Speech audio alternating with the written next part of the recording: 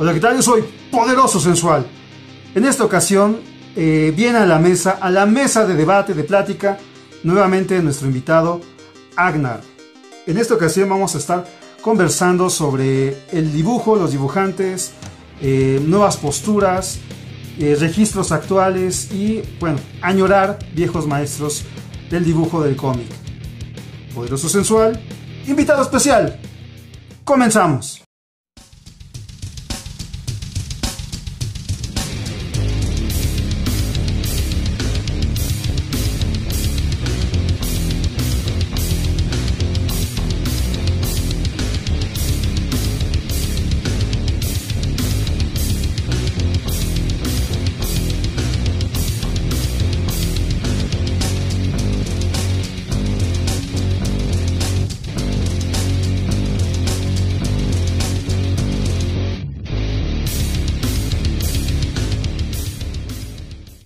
Muy buenos días, tardes, noches. Nuevamente con nosotros, Agnar. Agnar. Y bueno, como decía al principio del episodio, este, vamos a hablar de dibujantes. Todo esto sale porque recién vi el nuevo episodio de Arcosí, donde habla de dibujantes grosos italianos. Y dentro de sus referencias venía Guido Crepax, muchos más, Matotti y otros que no conozco, pero sin duda al estar viendo el video y ver la calidad, la potencia del dibujo, la potencia también en un blanco y negro, me hizo pensar los dibujantes actuales en dónde están, cuál es el nivel. Entonces un poco para platicar de eso, estamos aquí con Agnar. ¿Qué te parece hoy día los dibujantes? ¿Cómo, cómo eh, definirías hoy al dibujante de cómic? Hijo, pues yo creo que el nivel, sí, ya con las herramientas tanto tradicionales como las digitales, yo creo que sí ya hay un nivel brutal, ¿no? A comparación de los 60, los 80, los 90, ¿no? Y, pero sí una palabra, no, no sé, yo creo que diversidad, ¿no? Podría ser. Yo creo que hoy podría yo más decir del dibujante que es practicidad. El dibujante actual es muy práctico. Yo siento que antes estaba este tema de oficio, este tema, tú ves en las entrevistas cuando ves a un Alberto Brescia, cómo él sí tenía ciertas intenciones y también un pensamiento casi artístico. Hoy la verdad que muchos dibujantes son muy buenos, pero tienen esta mentalidad de, de trabajo. Es trabajo, es cumplir con la cuota, al final del día yo tengo que pagar cuentas y bueno, que mejor pago mi renta y me queda para unas cheves cheves, ¿no? Y echar relajo. Sí, sí, sí. Entonces siento que hoy día el dibujante sí es muy práctico y creo que hay de todo, ¿no? Hay dibujantes que han estado evolucionando, han, han, han ido adentrándose a este mundo de, de, la tecnología, hay otros que nacieron así y bueno, para ir poniendo en la imaginación, eh, si ustedes tienen en mente a un dibujante como Chris Bacalo, que siempre será mi referencia, soy fan de, del maestro Bacalo, sí podemos ver cómo va evolucionando, cambiando, y al principio es un dibujo muy inspirado en Vincent Kiewicz, eh, en Esteranco, con texturas, con profundidades, proponiendo, pero conforme va avanzando en su carrera, el dibujo va cambiando. A veces uno piensa que para mal, porque deja de tener estas cuotas experimentales y se empieza a adaptar a un estilo de dibujo, ¿no? Ya lo que vemos, vamos a brincar mucho en el tiempo para ver los cambios radicales de estilo. Ya en X-Men, en una primera etapa, tiene estos matices de lo que hacía, pero ya en X-Men se ve que cambia porque llega eh, el Amerimanga, ¿no? Entonces ahí ya vemos un cambio. Y si hoy vemos actualmente a un Bacalo, también influye mucho quién le entinta. Hoy le está entintando otra persona que ya no es este Towson. ¿Y cuál era? Art Tibert, ¿no? Su, su, uh -huh. sus entintadores más. Mendoza, hay uno que se llama Mendoza. Mendoza es el que está ahorita, pero sí ya es, uh -huh. es un entintado casi de, de, plumilla, ¿no? Los otros dos, Art Tibert y este. Towson. Towson es con plumilla y con muchos efectos. Y, y, yo creo que su trabajo más fuerte de ellos dos lo que hicieron en The Wishing Hour, ¿no? Donde el dibujo es brutal. Pero bueno, ocupo este dibujante porque es el que ha tenido muchos cambios de estilo y se ha ido mucho hacia un dibujo muy eh, digerible, muy fácil. Uh -huh. Tan así que ahorita está dibujando eh, Deadpool y Spider-Man, no porque esos personajes sean así, sino porque sí van orientados a un público muy, muy joven. Entonces debe ser un trabajo muy fluido, ¿no? A mí me gusta como, como dibuja, pero es mi ejemplo, ¿no? De dibujantes. Entonces ya también aquí para poder un poco ya en contexto, tenemos a dibujantes muy padres como Jorge Jiménez, que trabaja todo en digital y se me hace muy bueno. Eh, pero también tenemos otros dibujantes que tal vez ocupan la trampa de la tecnología y ya no es tan así, tan, tan bueno, por así decirlo, ¿no? Es medio difícil meterse si es bueno o no, porque parte del gusto. Claro. Y bueno, recién yo te mostré un dibujante que se llama eh, Colo. El dibujo, el storytelling es muy bueno, pero a mí me deja ese sabor de boca de que pudo haber hecho algo mucho más interesante ocupando viejas técnicas eh, de mano, de plumilla, de pincel y bueno, su historia creo tendría otro, otro matiz. La historia es muy buena, estoy hablando de un, este, hoy es un buen día para morir, pero bueno, ya me viajé. ¿Qué nos puedes comentar? Sí, no, sí tienes razón. Yo creo que a, eh, a comparación de otras eh, épocas, hay, pocos artistas que sí son muy eh, ven el dibujo del cómic como algo un poquito más no algo más artístico no sino simplemente digo y ahí está el ejemplo de Humberto Ramos en, los 2000 no que él constantemente aquí en México cuando le hacían entrevistas él decía es, es trabajo es chamba es levantarte a tal hora trabajar tantas horas y ya no o sea lo ve como un trabajo pero él nunca eso no está mal sino que él nunca lo veía también como esta parte eh, un poco más artística, ¿no? Decir, sí dibujo cómics, pero también trato de innovar en esto, propongo esto y no. O sea, él lo veía es chambe ya. Entonces, es un poco lo que tú comentabas, ¿no? Que muchos dicen es, es trabajo y, con este estilo me caso, me funciona y entrego ya. Y la verdad que Humberto ahí tuvo, no sé si suerte o la visión, quiero pensar que la visión, pero sí, sí, sí logró poner un poquito, mm, dar un granito, ¿no? Porque llegó Humberto y de inmediato viste a dibujantes eh, como el propio Quesada que se influenció, ¿no? su, personaje de Ash, el bombero de, Quesada, está totalmente influenciado en, el trabajo de Humberto. Y la verdad que es un trabajo de Quesada feo, siendo que Quesada venía de, estar influido por eh, la primera parte de dibujo de Mignola, ¿no? En, este, en, esta gran historia de, la espada de Israel, ¿no? Entonces, este, bueno, para también un poco, eh, confío nos estén viendo personas de vieja escuela, pero también jovenazos. Entonces, a los chavales también decir que han, bueno, ahí tenemos un conocido que dice que hay péndulos, ¿no?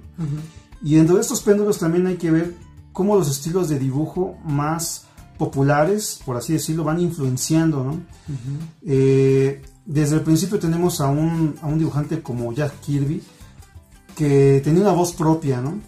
Pero bueno, tú estás más empapado de esa época. En, en la etapa de Jack Kirby, de Steve Ditko, que eran de alguna manera los, la segunda oleada ¿no? de, dibujantes, ¿cuál sería, o en esa época, cuál era como, como el registro, como el estándar del, del dibujante de cómic? En los años 60, pues yo creo que Kirby marcó mucho, mucho una época.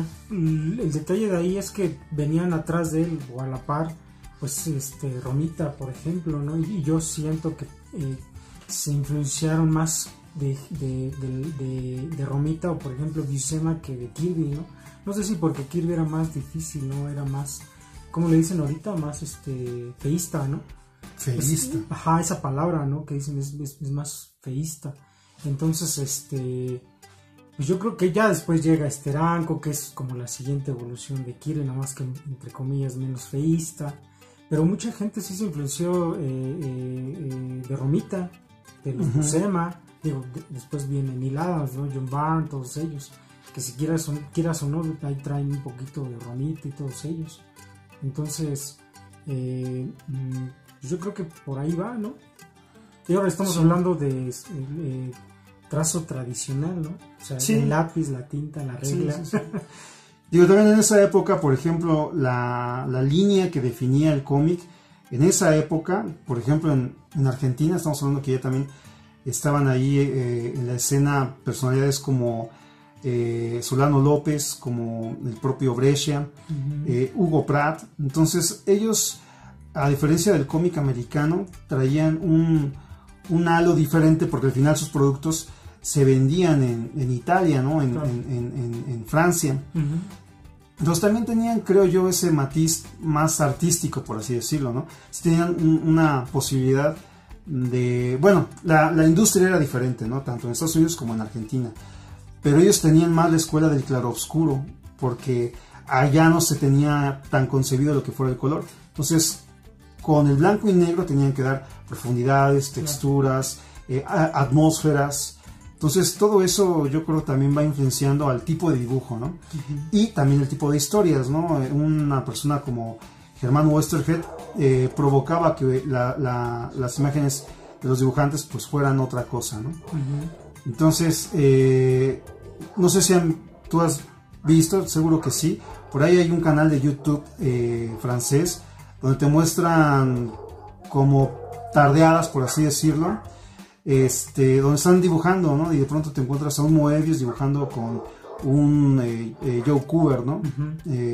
y un Hugo Pratt y del otro lado Buscema, ¿no? Entonces hacen un, tienen un, un, cuadro atrás en blanco y ellos empiezan a dibujar uno hace algo y el otro lo replica y mientras están platicando de su día a día. Y la verdad que se ve increíble, ¿no? Ese trabajo.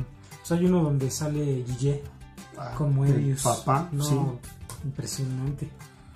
Pero bueno, entonces así es un poco el, registro del de tipo de dibujo de esa época. Vamos a brincar mucho porque en los 80s lo definió mucho este John Byrne.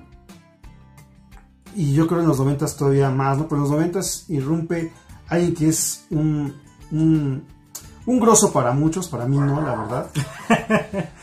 Pero es Jim Lee, ¿no? Jim Lee llega y, redefine muchas cosas y le da una cara al dibujo de superhéroes. No, y aparte estamos hablando que son los 2010 y, y aún todavía la, sigue rompiendo el señor y sigue siendo la influencia de muchos artistas todavía. Y estamos hablando, como bien dices tú, finales de los 80s. 90, 2000, 2010 y todavía sigue el señor rompiéndolo. Sí. Y bueno, para quien no lo haya visto, eh, Jim Lee es el papá de dibujantes como eh, Ger Capullo. y después sí fue ahí con McFarlane. Y su mejor trabajo fue Spawn. Y ya después eh, estuvo ahí en Batman, ¿no? Sintetizando su carrera. Pues sí. y bueno, un poco pongo esto porque eh, sí siento que cuando un dibujo es eh, muy aceptado, de pronto se empiezan a replicar. No sé si las editoriales dicen, ah, este es el dibujo que está jalando, tú, Pedro, Juan y Carlos dibujen igual, ¿no? Entonces, este, bueno. Yo creo que sí, porque acuérdate que en los noventas, eh, cuando entra Madureira X-Men, se sale y parece ser que sí era una indicación que el que llegue tiene que dibujar semejante a Madureira, o sea, a Merimanga, ¿no? Entonces cuando llegaba Calo, y llegan todas estas... Ah, chale, bacalo No, digo, o sea, en el sentido de que empezó como a, dibujar un poco más parecido a... Bueno, más a Merimanga. Sí, sí, ahí un poco... No a Madureira, no a Madureira, sino más a Merimanga. O sea, a lo que voy es lo que dices tú, ¿no? Que parece ser que sí había una, una eh, indicación, ¿no? De que el que llega a este título tiene que dibujar así. Porque por muchos años en X-Men dibujaban así, como si fuera Merimanga. Ahí tenía un este clon este Madureira, Ah, Roger Cruz. Roger Cruz. El, brasileño que se lo acabaron al tipo, ¿eh? Pero él seguía dibujando como Madureira.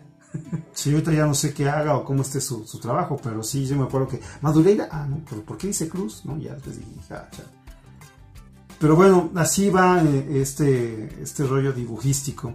Y después ya más, este, más para acá, eh, yo siento que la tecnología sí irrumpe y permite que, todo sea diferente, ¿no? Ya creo yo que antes eh, los dibujantes se esforzaban por tener un estilo definido, algo que los caracterizara, algo que fuera su, sello. Y ya con la tecnología eso cambia, ¿no? Y ahí entra en escena pues otra escuela, ¿no? Sí, no, y es que también, quieras o no, como, como la entrada de esta eh, parte digital, quieras o no, es el color, ¿no? En los 90, Cuando la rompe y ya el color te daba, obviamente el digital ya te daba esta cosa de, los metales, colores muy brillosos, entonces quieras o no, muchos dibujantes empezaron a dibujar ya eh, pensando en el color, ¿no? De no acabo aquí, que lo arregle el color, ¿no? Entonces creo que es como la pequeña entrada del, digital ya al mercado, ¿no? Sobre, todo el yankee, ¿no? Sí, digo, para esta época ya eh, la escuela argentina ya pues ya estaba en otra cosa, ¿no? De, del último siento, ¿no? Sin, sin, sin estar tan clavado en, todos los dibujantes, no quiero excluir a alguien, pero siento que personalidades como el gran Carlos Meglia es esta última, o representa esta última oleada de, grandes dibujantes argentinos. Que si bien su dibujo también ya cambia mucho, es muy caricaturizado, por así decirlo, contiene y mantiene todavía esta, esta escuela argentina narrativa, ¿no? Esta, esta parte también de, jugar con claroscuros, que es muy, muy, este, por ejemplo, ¿no? De, Sola, de Muñoz, ¿no? Entonces, del propio Rizzo, ¿no? Que ellos vienen también influenciados y inspirados de Hugo Pratt y del Gran Brescia, ¿no? Entonces, siento que, bueno, aquí van como, como esos últimos grandes dibujantes. Eh, y ya después siento que viene un gran boom de tiras cómicas en Argentina y se empieza a perder ese tipo de dibujo, ¿no? Tan, tan clavado en tintas, en profundidades. Y como dices, mientras el dibujante americano experimenta y explota con la tecnología, jugando más con los efectos. Por ejemplo, eh, otra vez hablando de, Humberto, este Estudio F, ¿no? Lo último que hizo en Crimson, está Está muy padre, ¿no? Sí, ¿no? Y, e, inclusive eh, eh, cuando todavía aún seguían siendo Estudio F, yo creo que eran de los poquitos estudios eh, que te proponían un color interesante, ¿no? Porque no eran no nada más las plastas, los brillos y ya, ¿no? Que, por muchos años fue así, ¿no? Y había más que beneficiar al dibujo, siento yo que como que lo, lo, lo hacía este, perderse. Pero Estudio F efectivamente no tenía ahí algo. Cuando se deshace es cuando ya yo creo que como que se va al carajo. Sí. Y bueno, ahí también cuéntanos más de esta nueva etapa donde empiezan a haber personalidades como Emma Ríos, ¿no? Por ejemplo. Sí, en, que es como mediados de los 2000 eh, cuando llegan varios españoles a, sobre todo a Estados Unidos, ¿no? Que es cuando eh, se empiezan a ver a, a Emma Ríos, a Marcos Martín, a este, ¿quién más? David Baja, ajá, eh, Javier Pulido, mm, hay, hay, varios más que no recuerdo sus nombres, que creo que le vienen a dar como un aire fresco, una bocanada de aire fresco, esta, eh, que ya se venía como, como dando los últimos eh, vistazos de la merimanga, ¿no? Porque también ese como que se va yendo, ¿no? Se va, se va diluyendo. Y ya deja de haber también, ¿no? Muchos exponentes de ese estilo, ¿no?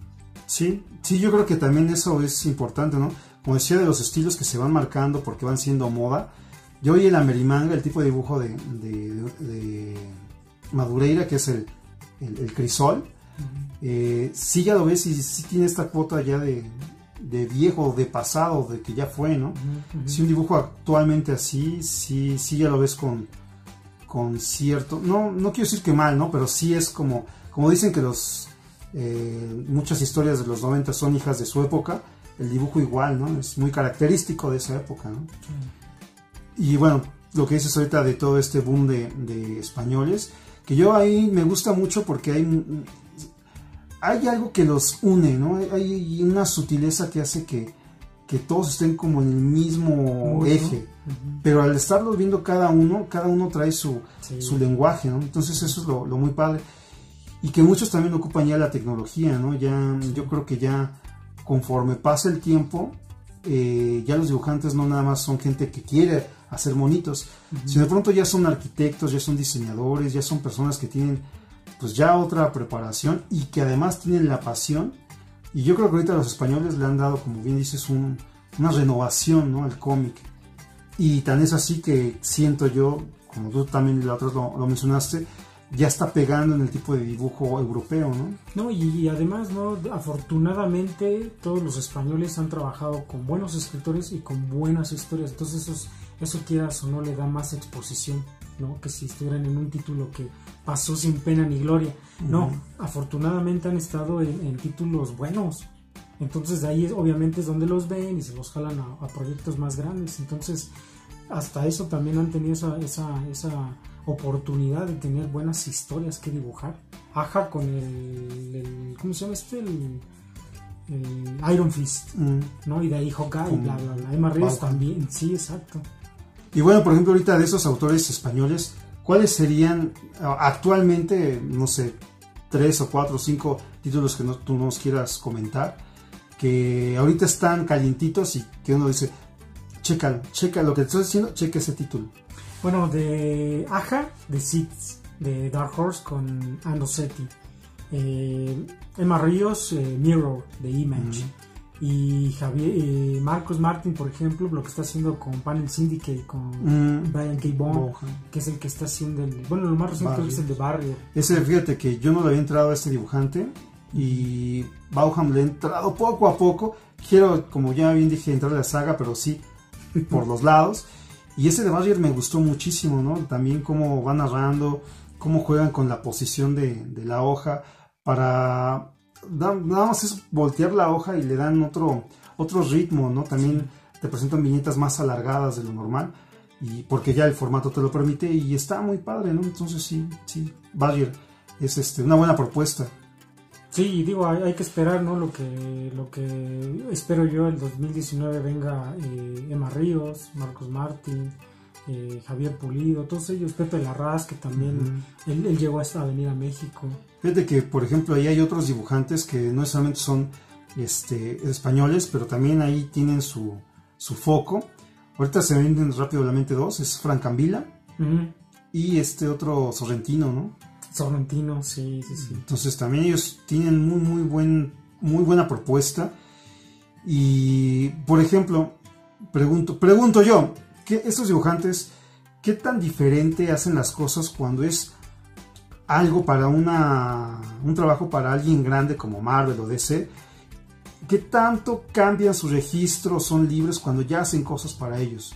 ¿Sí se ve mucho el cambio Sí. o, o- o- o mantienen ese mismo nivel? No, yo, bueno, al menos yo, yo los que sigo, porque no sigo a todos, pero los que yo he seguido como Emma Ríos, tú ves lo que hace Marvel y de pronto ves lo que hizo con Pretty Daily y dices, no, es que aquí está brutal, porque pues aquí no tiene ninguna cadena, ¿no? Ninguna indicación editorial de eh, no le hagas así, tantas viñetas por página, bla, bla, bla, bla. Eh, David Aja es otro, que sin Hawkeye tú lo veías buenísimo, otra de, de Seeds está brutal. Y yo, yo creo que sí, Sí, dices, sí, sí, sí.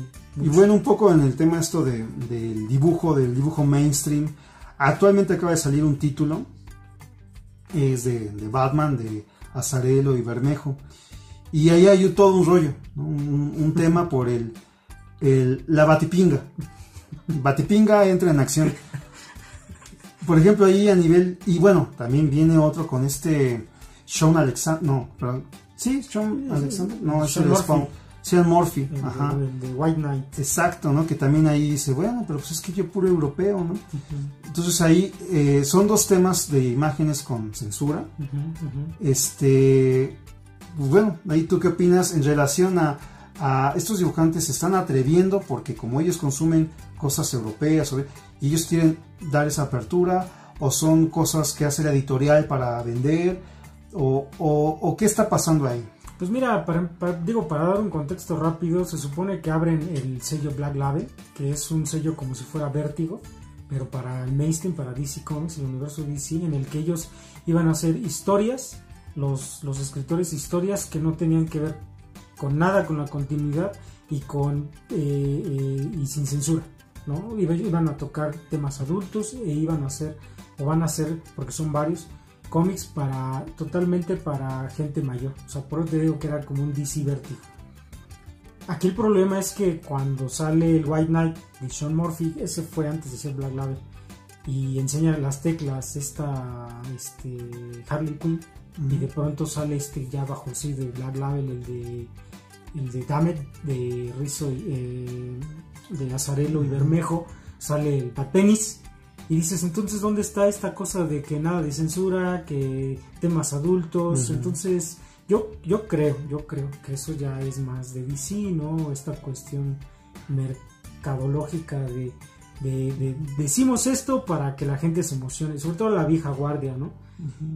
Y ya cuando sale al mercado resulta que hacen todo un desmán como todo esto que ha pasado, pues para que genere eh, mucha noticia. De hecho en Estados Unidos ahorita quién sabe en cuántos noticieros de, de tanto de revista como de noticias sale la noticia del bad tenis. O sea, Entonces en- ya se hizo así la noticia de que si tú eres un eh, eh, eh, ¿cómo se llama? lector de cómics lo tienes. Pero si eres eventual vas a ir y lo vas a comprar. Entonces eso quieras o no, al final de cuentas son ventas.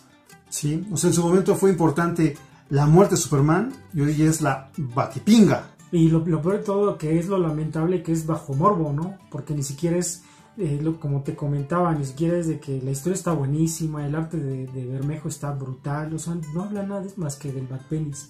Y dices, bueno. No, y por ejemplo, aquí en México se presta para que algunas tiendas hagan su agosto, ¿no? Claro. Fantástico.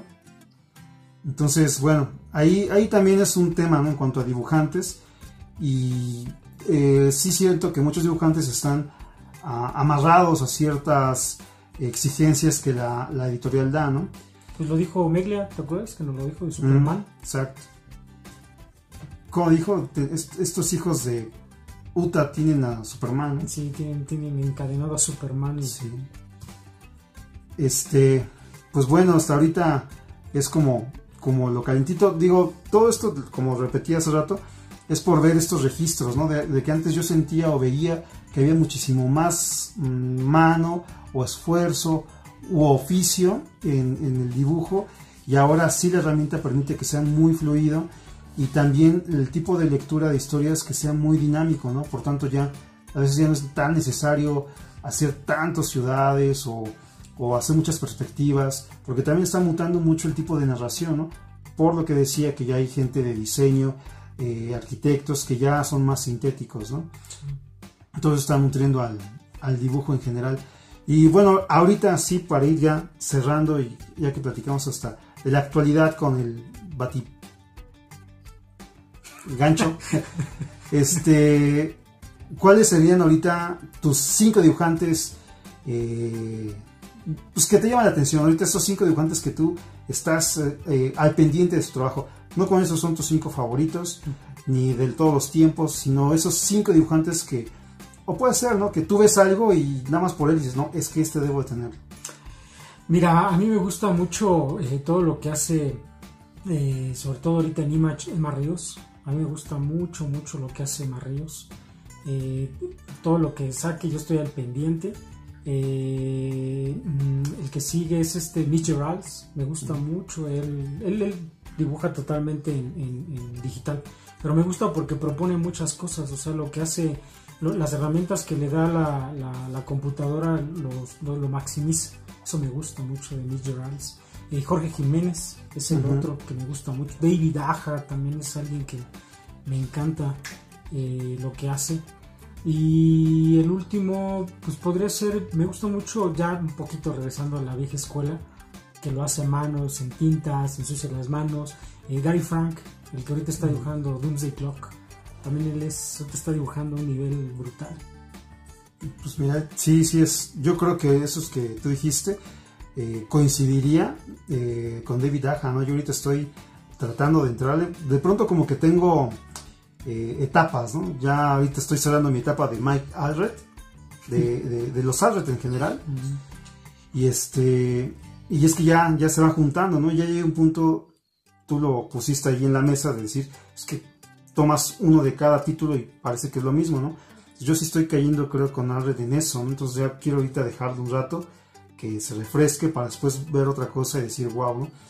Uno que yo nunca voy a dejar, que siempre, o sea, él hace un, no sé, el diseño del mantel del Vips, yo lo voy a comprar, a conseguir, Chris Bacalo, ¿no? Chris Bacalo lo que haga, ya sea en su edición americana, casi siempre trato que sea así, su edición mexica, este, tengo, tengo, eh, de, yo puedo decirte que de Bacalo, de todas sus etapas, de todo lo que he dibujado, tengo algo.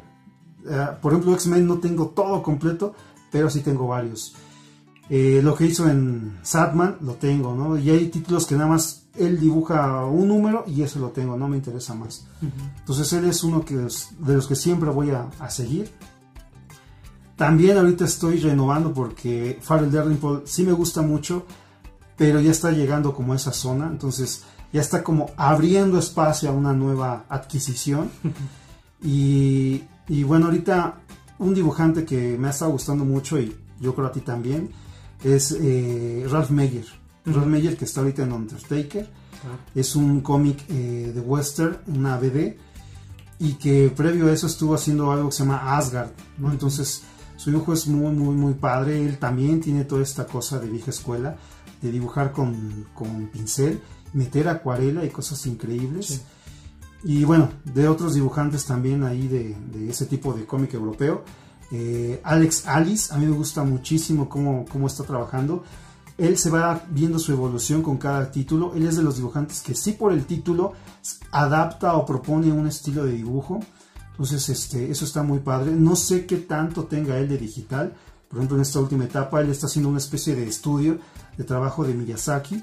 eh, en este cómic, que se me fue el nombre de la Torre de las Estrellas, o no me acuerdo muy bien cómo se llama.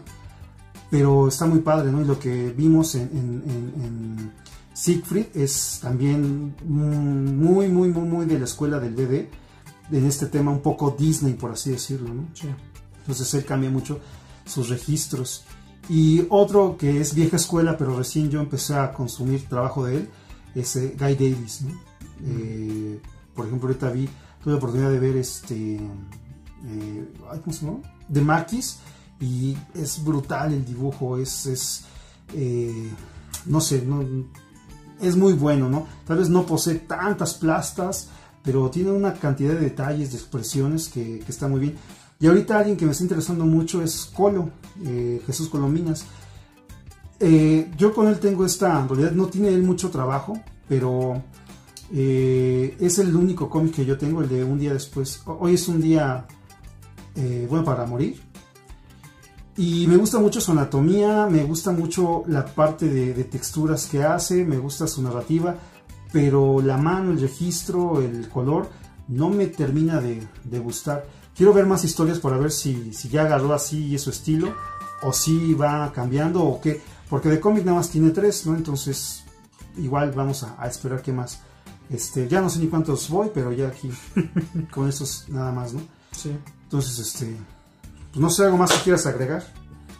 Pues yo creo que digo nada más para, para como comentario, este, yo creo que todo lo, porque eh, el dibujo digital no, no todo es tan malo, ¿no? O sea, Ah, hay sí. unos que sí creo yo potencializan lo que la herramienta puede y no esconden errores, ¿no? De, de anatomía o, o, o- o, este hacer más rápido su trabajo, ¿no? Sino que creo yo hay unos que sí potencializan lo- la, la, la cinta y la, la tablet donde dibujen y, y, y- y sí hay buenas propuestas, ¿no? Solo que, solo que hay que buscar y, y como todo, ¿no? Te puede gustar o no te puede gustar, pero ahí está, ¿no? No, y que ocupa muy bien, tú lo dijiste ahorita, es Jorge Jiménez, ¿no? Es espectacular lo que él hace, la verdad.